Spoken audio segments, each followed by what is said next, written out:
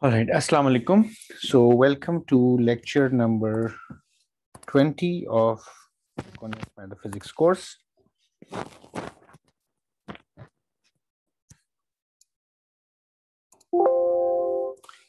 So, welcome to lecture number 20 of the Condensed Matter Physics course. And today we're going to look at some examples of the tight binding model.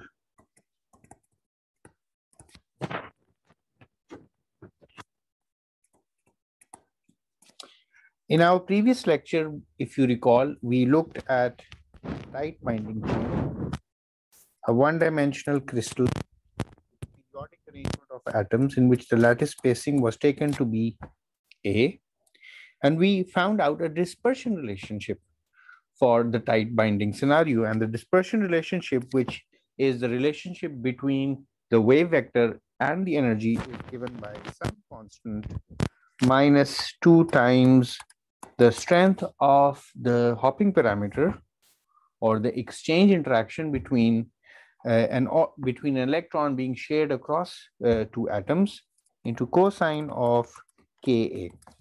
And if we were to plot this relationship, this is what it looks like. K on the horizontal axis and energy on the right axis. And I'm drawing it in the reduced zone scheme. And here are my here is my dispersion relationship. Really, it looks like a cosine curve. It is a cosine curve. This width is called the bandwidth of the band. Right? And uh, this process, by the way, repeats uh, onwards. So I could always uh, I could always move back to the to the first Brillouin zone and so on. All right, so far, so good. Now, one thing that I forgot to mention in the previous lecture is that if I focus my attention on this region, which is close to the minimum of the energy, and this happens at k equals zero, I focus my attention here, I can rewrite the energy in this regime as E naught minus 2t cosine Ka, I can expand as 1 minus k square, a square over 2. And if I open up the brackets, I would get something of this kind, plus k square, a square, t over 2. Now, all of this is some constant, some constant alpha plus k square, a square, t over 2. Now, for free electrons, we know that the energy is given by h bar square, a square over 2m. So in, in the region that is close to the minimum of the energy, which is at the origin of the reciprocal space, the dispersion relationship, if we ignore this bias, this DC value, has a k square dependence. So this region, which is looking like a bowl, has a parabolic dispersion relationship. And we could say that in this regime, the electrons behave like free electrons. The electronic excitations are similar to free electrons, albeit with a different effective mass. And that effective mass, which I can note as m star, can simply be found out by equating these terms here. And if I were to make this relationship explicit, I could write h bar squared k squared 2m star. This equals a square t k square over 2, which allows me to write m star, the effective mass, as h bar square over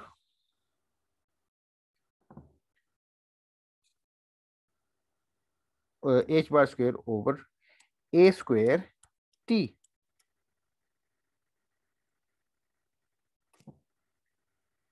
Which shows that this uh, hopping parameter, the inverse of this parameter plays the role of effective mass for the electron. And this relationship will have the same dimensions, by the way, as of mass. All right, so the hopping parameter is a property of this one-dimensional material which renders the electrons to have a mass-like behavior. So it makes the electrons massive. So this is a very uh, unique concept in condensed matter physics. So we look at some more examples of this in, in the homework problems and in homework number, I think seven, I've already given a problem that deals with uh, one scenario of this kind. Now we would like to look at how multiple bands can be formed. So the example here is of uh, a single band and I can extend this band to uh, higher Brillouin zones and then wrap them back into the first Brillouin zone. So the key is how do I construct second bands or higher order bands, third band, fourth bands. So we'd like to come up with an example that shows how such a scenario can arise. And the example that I've chosen is that of a diatomic chain.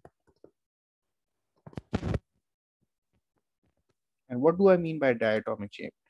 By the way, the algebra can get slightly messy here, so I'm trying to be as precise and accurate as possible. So a diatomic chain is a chain of two kinds of atoms or ions Still a periodic arrangement, but now I have two kinds, A and A and B, and so on. You might, might like to consider this to be uh, some kind of a polymer in which the monomer or the unit cell is a combination of two kinds of atoms A and B. So like any other tight binding problem, I would first like to solve the Schrodinger equation for it. And I propose a, a trial solution. So the trial wave function that I can write, I can denote this by ket psi, is an orbital. Let me draw an orbital just very roughly by, by the symbol.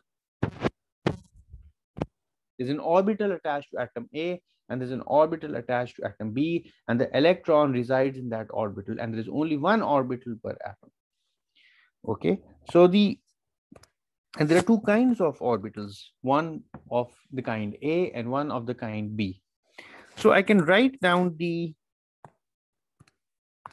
the wave function, the trial wave function as a superposition of the orbital n A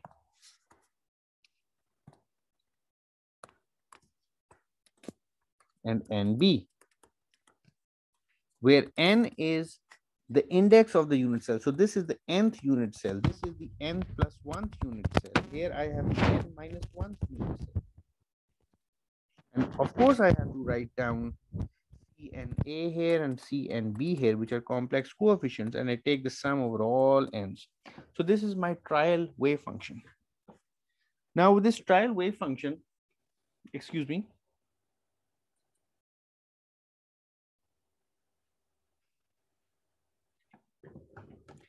The trial wave function is uh, the Hamiltonian acts on the trial wave function. Here we go. Uh, but first of all, let's find out what the Hamiltonian really is. The Hamiltonian is the kinetic energy of the electron and the sum of potential energy terms. And the potential energies can be of two kinds, one pertaining to atom B and the other pertaining to atom B sum up over all the possible unit cells, which I take to be capital N. Now let's have this Hamiltonian act on this wave function. So H acting on psi or trial solution K plus VJA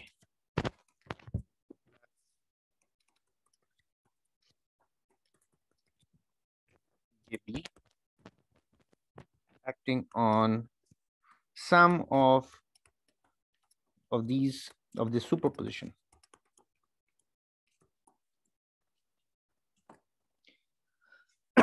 All right, now what I could achieve through this is the following. I could split up this into three terms, K plus V N acting on A plus all the VJs, J is not equal to N pertaining to atom A plus all the VJBs. This is summed over n and I have CNA Na plus CNB NB over here. All right, now I have to be really careful as to what I do. I just take this K plus VNA, and if it acts on ket Na, ket Na is an eigenstate, it's an atomic orbital pertaining to the eighth atom. All right, so this is an eigenstate of K plus VNA. Therefore, this allows me to write this as an eigenvalue equation with some energy E, the energy of the eighth atom. And I put a prime on top of it for reasons that become clearer later. CNA, NA. Okay, so this is the action of the green operator on the green state. Plus, I will have Vja, where j is not equal to n, acting on CNA NA. I will also have VJBs acting on NA.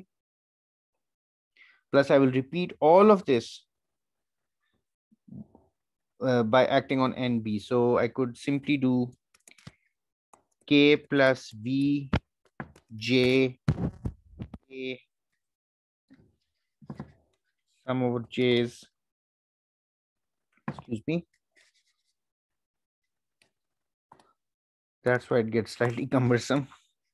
J plus K plus VJB J all of this acting on CNB, B. All right, so now this is the action of the Hamiltonian on, on the trial state. What I would now like to do, I would like to take this ket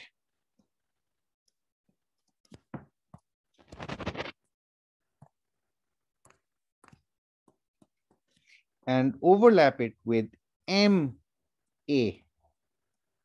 So something that is belonging to the mth unit cell, but of the type A. Now remember that anything that is on, on M is orthogonal to anything on N. That is the assumption where N is not the same as M. So two different unit cells have orbitals that are mutually orthogonal.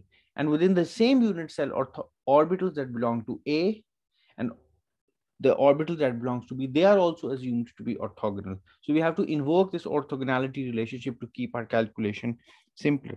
So now what we could do is we could take the ket that I've written in this big bracket and project it onto MA. Now, if I look at the first term here, I can do this projection and the projection turns out to be, now I keep this summation over n intact, the projection is such that I get EA prime CNA and the projection of NA on MA will simply be equal to delta n comma m. It's a Kronecker delta function. So this will be 1 if n equals m. Now, if I look at the second term here, so CNA is just a scalar. I'm taking the projection on MA, sum over J, which is not equal to N, VJA, NA. All right, so now let's investigate this term for, the, uh, for, for a minute. If I if I, now j is not equal to n, but m can be equal to n. So if my m equals n and j is not equal to n. So what am I really looking at? I'm looking at the expectation value of all the potential energy functions, all the potential energy functions. Uh, first of all, let's suppose m equals n. m equals n. Okay. So what that means is that I'm looking at the expectation value of the sum of the potential energy functions when the electron is in some orbital. But from the sum of the potentials, I'm excluding the index of the orbital in which the electron exists. So this term really as an A side, if I, if you give me the liberty of writing this term, this term is, so if M equals N, I can write this as MA, MA, V since I'm summing up over all n's as uh, summing up over all j's, so I can write this as v1a plus v2a plus, but I need to exclude the m. So I put vm minus 1a plus vm plus 1a and all the way up to vna. So this is the expectation value of all the potential energies for an electron that exists in a certain orbital, but that electron is not talking to its own parent nucleus, rather it's talking to all other nuclei. So this for m equals n, for m equals n, this will give me some constant. Okay. For m equals n, it's going to give me some constant. correct? All right. And and what does it and what does it give me for for for the other terms which in which m is not equal to n okay it gives me some kind of hopping but that hopping only exists when m and n they are at least in the neighboring unit cells but look at the look at the chain so i have a a atom and a b atom an A atom and a B atom. So there is an index A here and an index A here.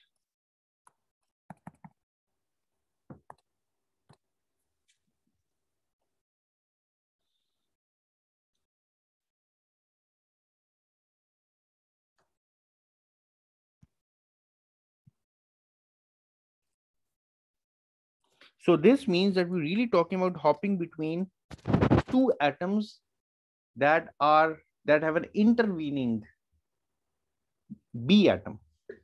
Now this is not a nearest neighbor interaction. This is a next to the nearest neighbor interaction.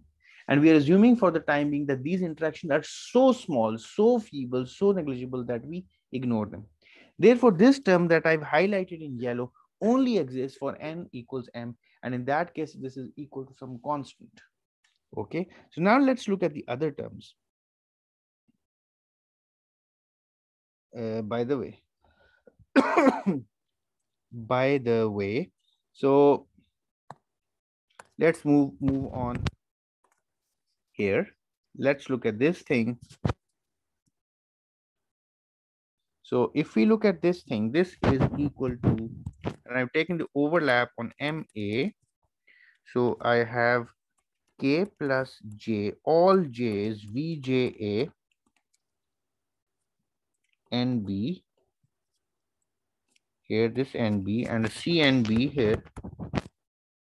And then finally I have to take a CNB MA sum over all J VJB and an NB.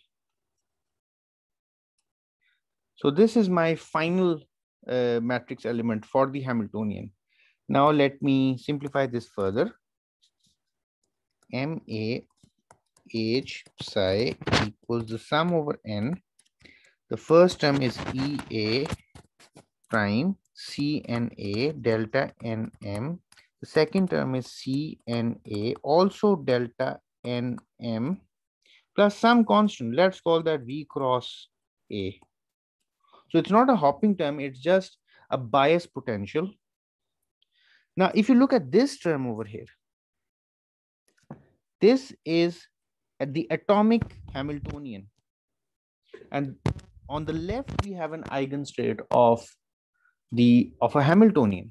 So the Hamiltonian can act from the left or it can act from the right. Here, in this case, the Hamiltonian is acting from the right on one of its eigenstates.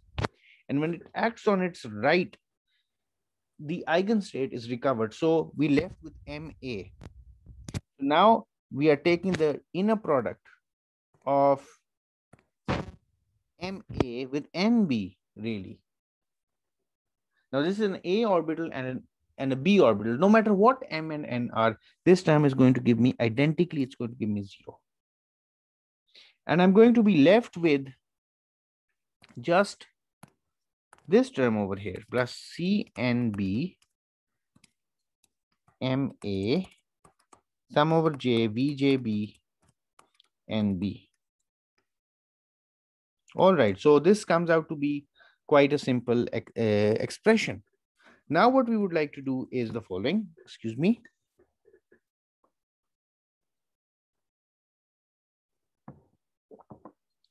Since I'm taking the sum of n's and we have Kronecker delta functions here, I can replace n with m, a prime plus v cross a, n can be replaced with m, okay, plus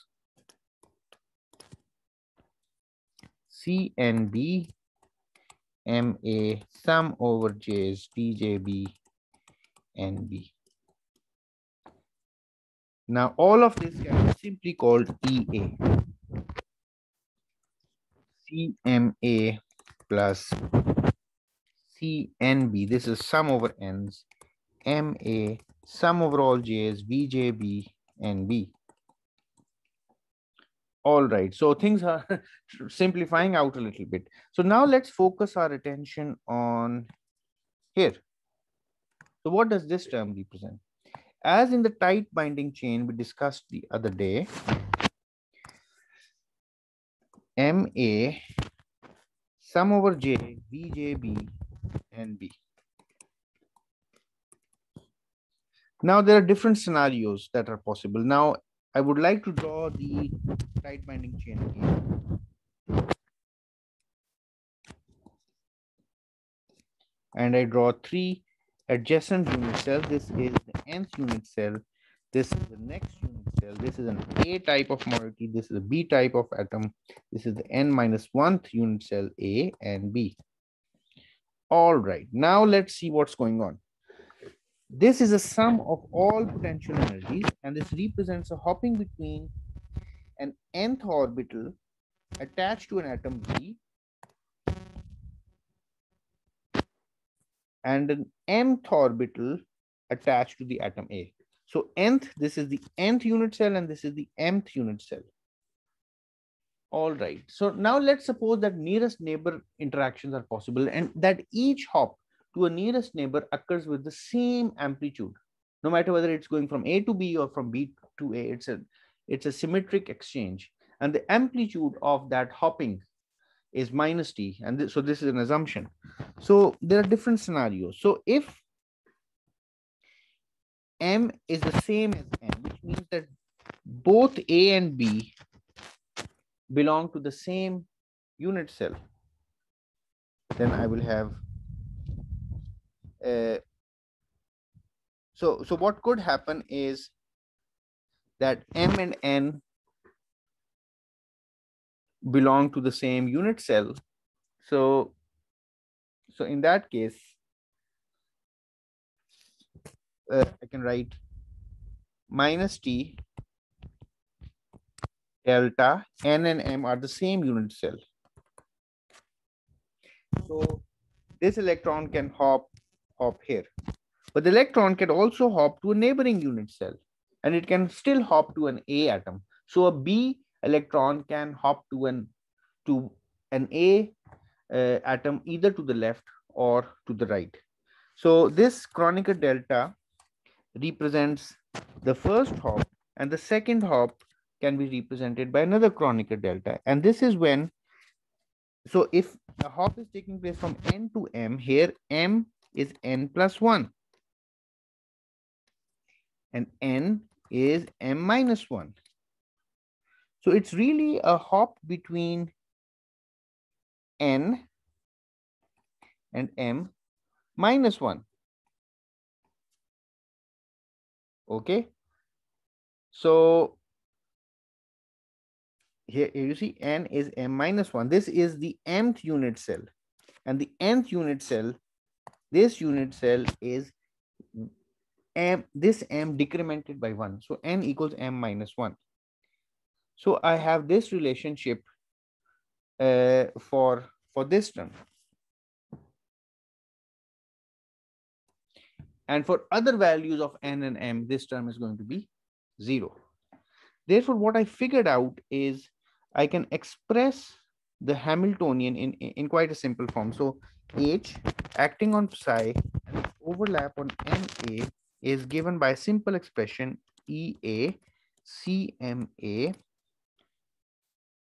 And then I sum up over all n's CNB minus T into delta NM plus delta NM minus 1. Now let's also get rid of this uh, summation sign. I can do that easily because of the presence of these Kronecker delta. So MA, H acting on psi, now give me EA, CMA minus T, CNB. The first term is such that I'm summing up overall n's, but n must be equal to uh, m, right? So I replace this n with an m. The next Kronecker delta gives me an n which is equal to m minus 1. So I have c m minus 1b here. So this is my equation number one, my first equation. Now, what does this equation tell? It tells me that I have a trial wave function is a superposition of CMAs and CMBs. And uh, I have a scenario in which the matrix element of the Hamiltonian between the total wave function, the superposition, and some MA is given by the expression that I have in equation one. But this must equal the right hand side. The right hand side of the Schrodinger equation and I can make its overlap with MA as I've done for the left hand side. Okay, so energy, the energy which I need to find, I need to find the dispersion relationship, which means I need to find out the energies. This is given by the sum over all n's of CNA, NA plus CNB, NB, and I need to find the overlap with MA. So I just take out the summation sign, epsilon. Now, MA always is orthogonal to anything on B. So I ignore that. I get a C and A. And since both of them belong to A, I can write this as a Kronecker delta, delta Mn, and I can get rid of the summation sign and I replace this with CMA. So this is really equal to the energy into CMA. So now I have an algebraic equation which describes the coefficient CMA the complex coefficient CMA. Of course, it depends upon CMB as well because of the interaction between the A and the B type of atoms. So let me rewrite uh, equation number one. Equation number one is E minus EA CMA. Excuse me, sorry, sorry, excuse me, I'm sorry about that. Let me go step by step. I have EA CMA minus T CMB plus CM minus 1B equals energy CMA. Question number one.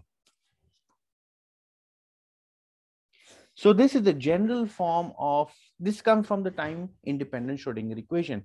And instead of writing the wave function, it's looking at the eigen value equations for the complex coefficients that constitute the coefficients for the orbital atomic orbitals. And the trial solution is a linear combination of atomic orbitals. This term here, which we have, uh, this term here, is generally representing the on-site energy because it belongs to electrons that are in an orbital that is attached with a certain atom and there's no hopping possible. So this time term is generally called an on-site energy term.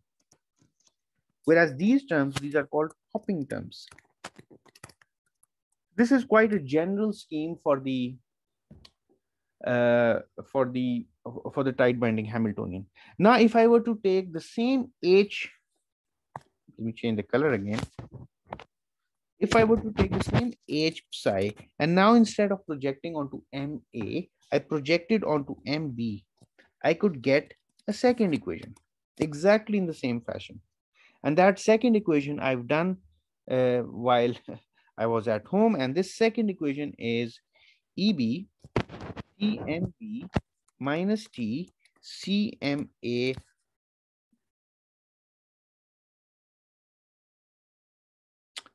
plus CM1 plus 1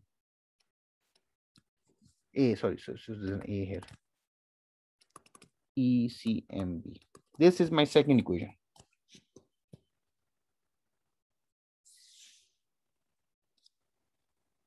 All right. So recognize that here I have a Cm minus one and here I have a Cm plus one because now an A orbital is going to a B orbital and that is to its left. In this example, a B orbital was going to the to an A orbital, which was to its right. So this causes this distinction of sign between between these two terms. All right. So these are the two equations that we set to solve. These equations are nothing but the time independent Schrodinger equation recast in terms of an equation for the complex coefficients. Now, like any other problem, we would like to propose an ansatz, uh, a solution that is, uh, and we'd like to see whether it works or not. So the proposed solution in this case is the following.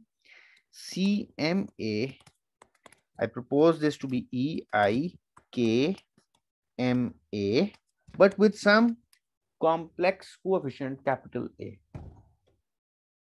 Now this is a periodic function. It has periodicity A. So if K is changed by 2 pi over A, the function remains the same. Likewise, CMB also has the same periodicity. The, the periodicity of a type of orbitals is the same as the periodicity of the B type orbitals. However, since the atoms are different, the on-site energies are different, EA is not the same as EB. An electron belonging to atom A will have a different energy in general than an atom belonging to orbital B. So you could have ionic compounds. One atom is of one kind, the other atom is of another kind, sodium chloride, for example. But this CMB is now the same form. So there's an A here, sorry and but it comes with a different coefficient b capital b now finding these coefficients is tantamount to finding a and b all right. So let me insert these values into equation number one and equation number two. So ea cma is a eikma from equation number one. This equals now let me oops minus here I go again minus T CMB CMB is B E I K M A plus CM minus 1 perhaps yes plus B E I K M minus 1 A this equals E C M A, but CMA is A, E, I, K, M, A. All right, all right. So far, so good. So I can just take away these terms. Right. And I'm left with E, A, minus E, A minus G 1 plus E I K A P equals 0. Like so this equation number three and similarly i can do this for the other equation and i'm left i will be left with ebb minus eb minus e 1 plus e i k a a equal 0 so i have two equations.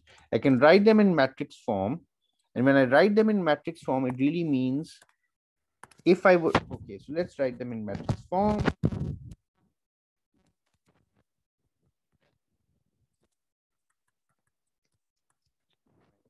1 plus EIKA EB minus E. This equals 0. So in order to find these values E, that really means I have to diagonalize a matrix. And the matrix is, is this matrix that I've written in parentheses. All of this but without the ease. So I diagonalize that matrix, which means that I can find a characteristic equation in which the determinant of the yellow thing is equal to zero. So that characteristic equation will give me the values of ease, which are the energy eigenvalues that I'm seeking in the first place. And if I were to do that, let's find out these values. So let's find out the, excuse me, let's find out this determinant. This determinant is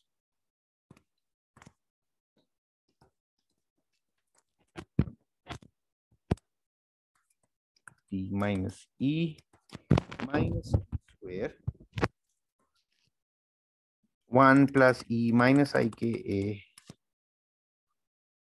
plus e ika plus 1 equals 0. This is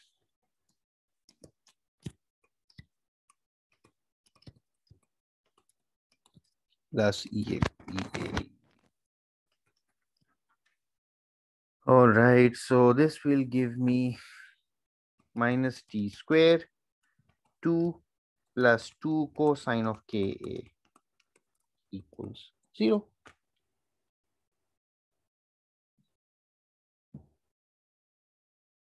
But then e, uh, e here as well. So I can simplify this further.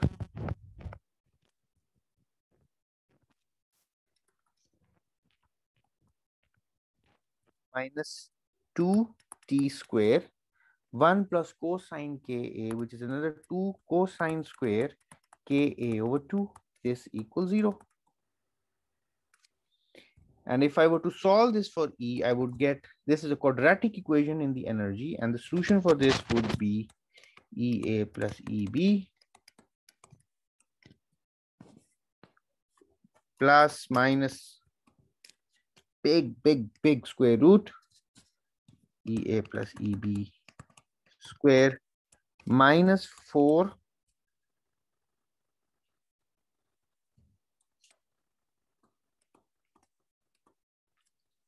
4t square cosine square K8O2.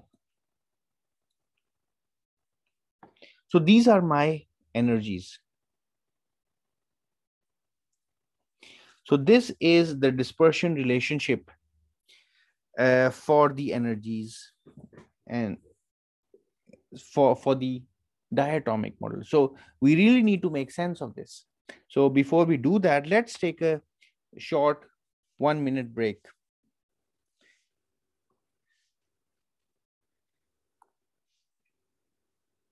All right. All right. So welcome back. So this is our dispersion relationship. Now we would like to make sense of this and, and what does it really mean? The first thing that I would like to mention is that if in the tight binding model and the diatomic chain, if the on-site energies become equal, then uh, then this would really lead, lead to some simplifications that this becomes equal to 2 2 times EA, this will become equal to 4 times EA, and then you subtract this from here, this will go away. Eventually, your energies will be equal to E naught plus minus 2T cosine of Ka over 2, which is the same as the tight binding monoatomic chain.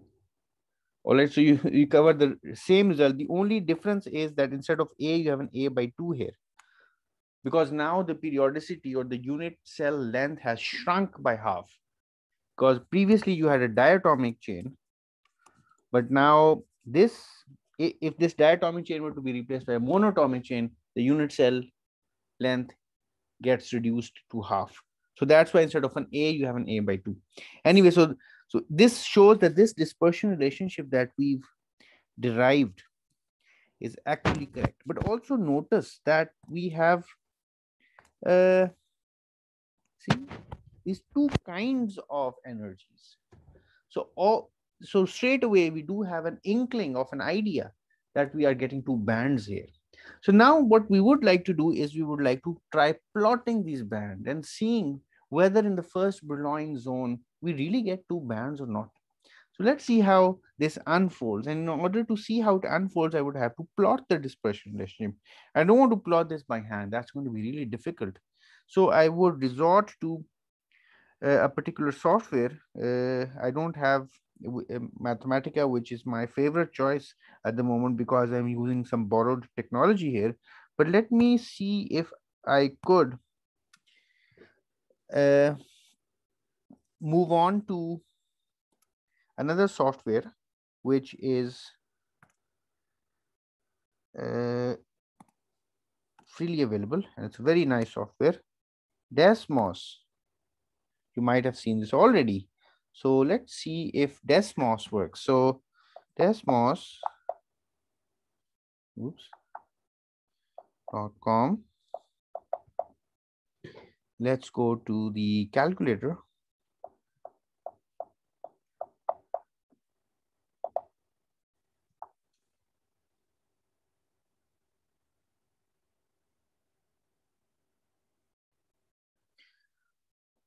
All right. So now what I would like to do, I would like to plot the dispersion relationship, but uh, for certain values of the energies and the hopping parameter.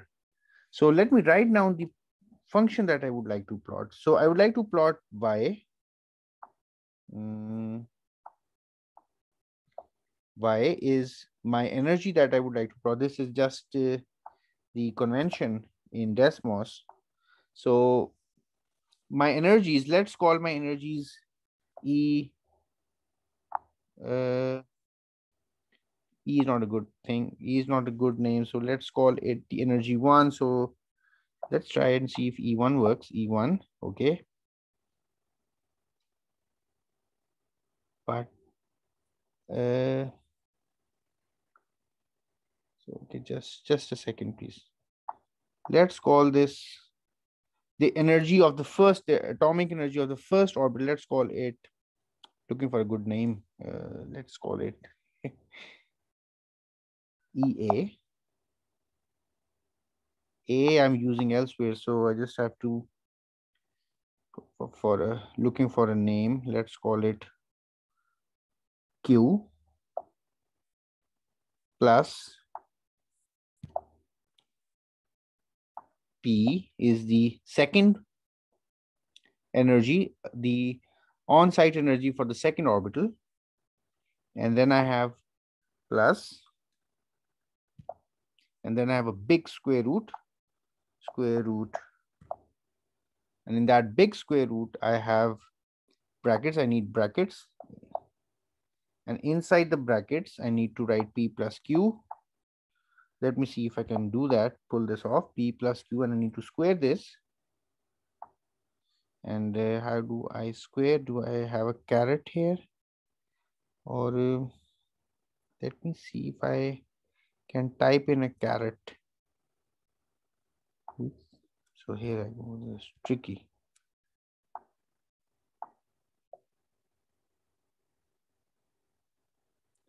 And then I have a minus sign but all of this is getting out of the brackets.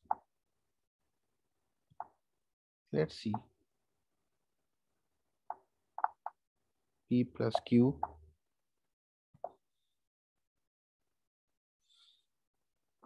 I wish I knew more of this Desmos. Okay, square. Now I move out. Need to come down somehow. Minus.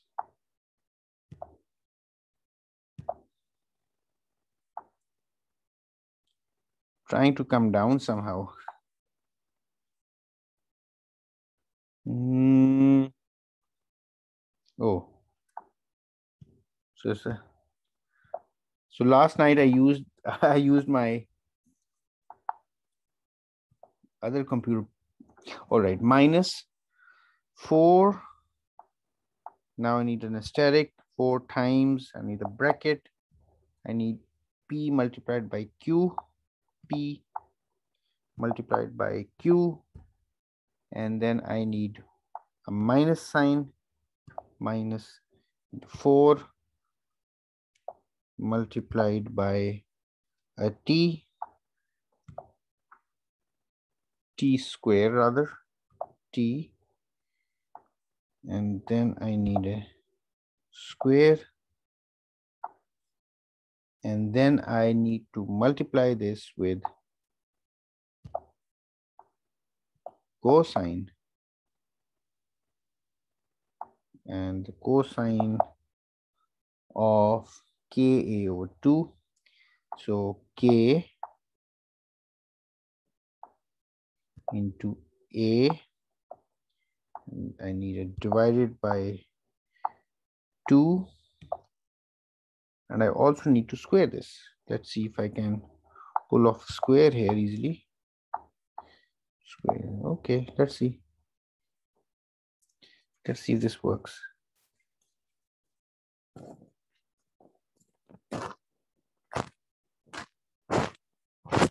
Now my And my Q, I would like to put them as sliders.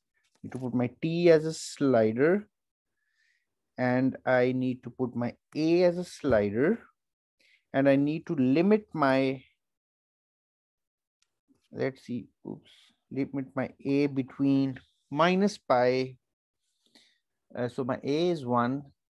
So pi over a. So I limit my a between minus, sorry, minus pi and pi. Oops, it's, it's running automatically, sorry. What have I done? Don't want to type this over again.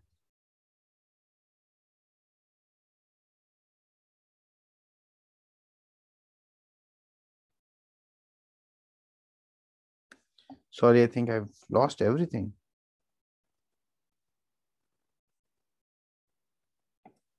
Is there a way of control Z here?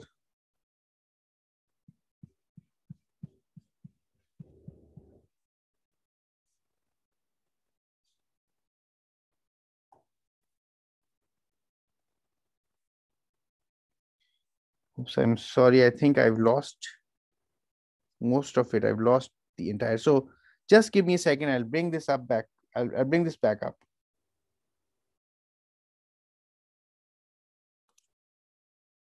All right. So I figured out the Desmos thing. So here what I've done is, let me be very careful. I don't want to make this go away again. In the top cell, I've written down the formula for the energy with a positive sign between uh, outside the radical. And in, in the second cell, I've written this with a negative sign. So these are the two solutions that we get for the energies. And I've used these symbols P and Q for the on-site energies for atom A and the on-site energy for atom B respectively. And I've used the symbol X for my wave vector K and my y is the energy because this is just a limitation for, for, for the Desmos thing. So now if I make the two on-site energies slightly different, see what I get? So on the, the graph that you see here is really, uh, let me see if the, sharing is done properly here. Let me just check. Oh no, I'm sorry. All right, so here I've turned on the screen sharing now.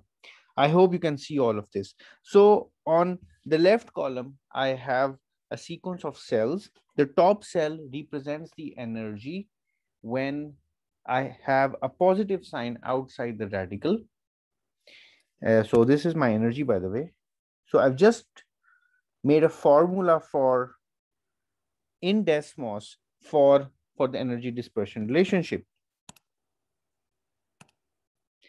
So the two cells represent the energies, one with the positive sign outside the radical and the second with the negative sign outside the radical.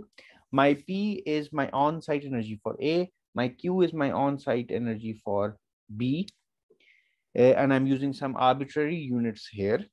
And I change P from Q. So the two on-site energies are slightly different. And this is the kind of relationship that I get. Now, in order to make this clearer, at the moment I'm seeing the repeated zone scheme for this band diagram, but let me try to see if I can focus my attention on just the first Brillouin zone. And how do I do that? I'll give it a try. I need uh, to add braces here so that I can define my limits. So my limits are minus pi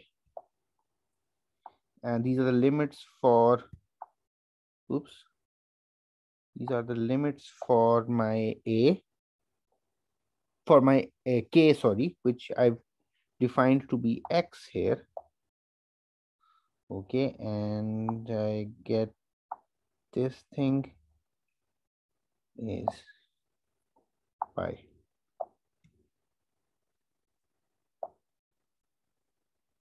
All right. So, and I need to do this for, oops, what did I do? I need to do the same thing over here. I need to be really careful in how I manipulate this. Okay. So I put in my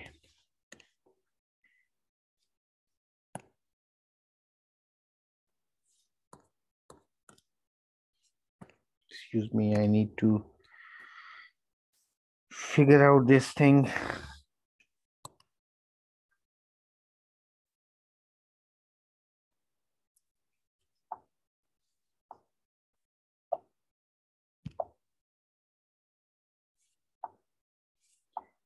with a minus sign, minus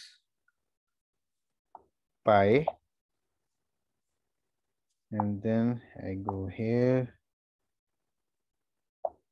this is my X. And then I go back here.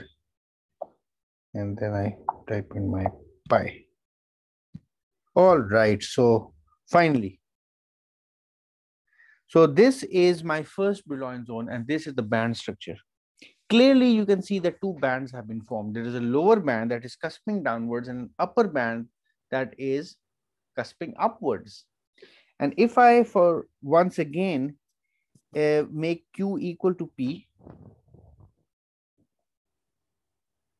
This is what I get. The two bands touch. If my Q is different from P, a band gap is opened up. I can also change my coupling parameter T and make these band widths larger or smaller. For very small coupling constant, which is close to zero, I get almost perfectly flat bands. I can also get perfectly flat bands if my Qs. So if my, uh, all right, so if one of my energies goes really, really, really, really large, and if I keep, keep if this keeps on increasing, if I keep on increasing this thing. So I don't want to take any risks here. Oh, I'm sorry about that. So if you observe here, one of the bands has gone really up. The band gap has really increased by quite a phenomenal amount because now the on-site energies are quite different. one of the on-site energy is 10 units, the other on-site energy is one unit. So this is representative of a very strong ionic bond in which the electron would like to reside on one orbital rather than the other. And this happens when the two elements that are forming the ionic bond have wildly different electronegativities, such as lithium fluoride. Uh, so, so this is the scenario and, and adjusting T changes the bandwidths of, of each of the bands. So let me bring back Q to a reasonable value. Okay. And so this is my band structure. Now having two moieties within a unit cell, that is two atoms, one of type A and one of type B inside uh, our uh, tight binding chain, we can have two bands, one a lower band and the upper band, and there is the possibility of a band gap between the uh, between the two bands. So now what I've done is I've used the example of the diatomic chain to exemplify that multiple bands can be formed. If I had a triatomic chain, a third band could be formed. And this is the picture that you see in front of you. That's for the reduced zone scheme. All right, so I think I've been able to explain a, a, few things here, but let me come back to my to my screen here uh, and let me share my OneNote again. so in this example, uh, we can find out what happens when the two on-site energies become equal. We can find out when one of the energies is much larger. Me.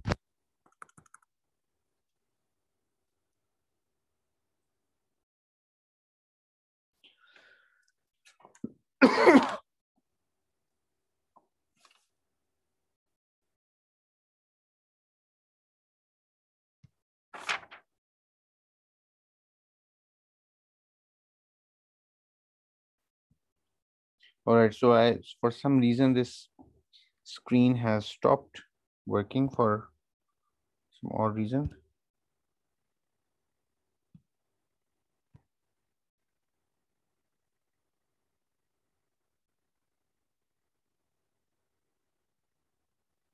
All right, so finally, so I could also find out what happens when one of the energies is much, much larger than EB we, we saw in that case that the band gap really goes very high. This EG goes up. We can also see what happens when the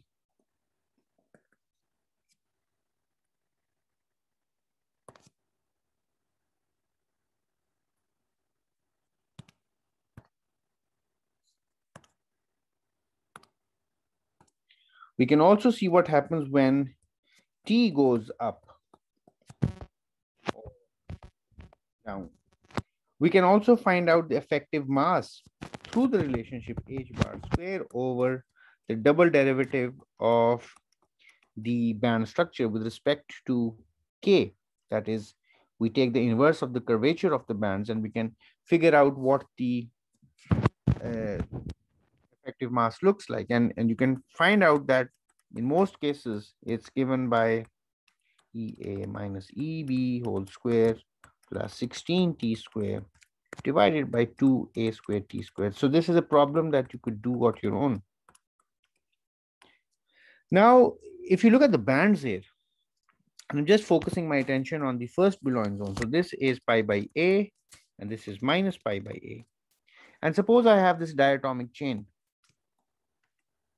And each atom is monovalent each atom contributes one electron. So one electron comes from here, one electron comes from here, one electron comes from here. So each unit cell is contributing 2n, two electrons. Now the total number of spaces, slots in this first Brillouin zone is going to be n, where n is the number of unit cells. And each k point each of these K point, which is quantized, can hold two electrons. So all, so, so the two electrons that, uh, now, now there are two n elect two n electrons that are coming out from this system because there are n unit cells.